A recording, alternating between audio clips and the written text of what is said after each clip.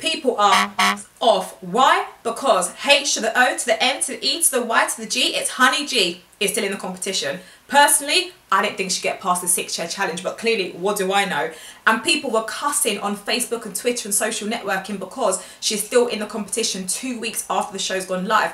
I think last week the heat wasn't on her as much as this week because Bratavio got voted out. And I think Bratavio and her are kind of seen like the novelty acts or the joke acts just there for the entertainment value. So the fact that they went last week, I don't think it was that bad that she had still stayed in because only one can go per week. Well, so far anyway that we know of. But this week it got real because Freddie got voted out. And this guy is 18, he's a singer, he's a songwriter, he plays a piano, he's a musician and he got voted out and Honey G still in there and people are complaining about that on social networking. But you know what? Props to Honey G because she wasn't even in the bottom two or the bottom three. So whatever she's doing, people are connecting and liking it and keeping her in there. So fair play to her. Let's just see how much further she can go.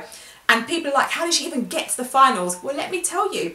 Mrs. O, Sharon Osbourne, didn't put her through at the judges' houses, but there was the Filipino girl, but she had issues with her visa. So then she couldn't go to America where Sharon Osbourne was. They had to bring someone in. So then they brought back Honey G. So that's how she got into the live shows. So that is how she is there doing what she does, as she calls it, shut it down. Mm -hmm. um, and another person actually in saying that, let's actually stay on Mrs. O because she was also blowing up social networking this weekend because she forgot her act's name. We can forgive her for kind of forgetting where she comes from. The girl's not from England, she's not from here, so you know, she kind of forgot where she was from. Not the biggest of things to forget or to mess up. But she forgot her name in the most important moment of this girl's time on the X Factor, the sing-off, where you want people to connect with your act. She wants people to connect with her, and Mrs. O in that moment forgot her name. It was like, and we've got the uh, the songstress from abroad. Louis Louis, who is it? Nicole, what's her name?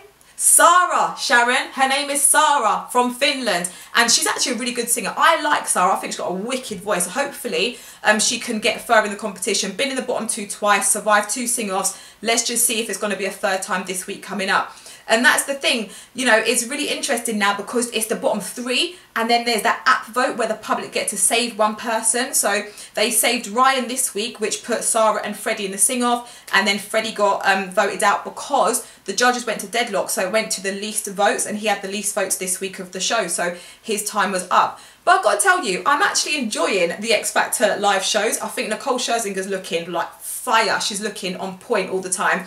It's nice to see the judges. They seem really relaxed and you know it's interesting to watch. I hope you're enjoying the X Factor as much as I am enjoying my blogs. I'm going to be back again very soon and have a look out for my interviews with the acts that get voted off. This week I did catch up with Freddie Parker, so look out for that interview. He's a really sweet guy and I'll catch you lot later.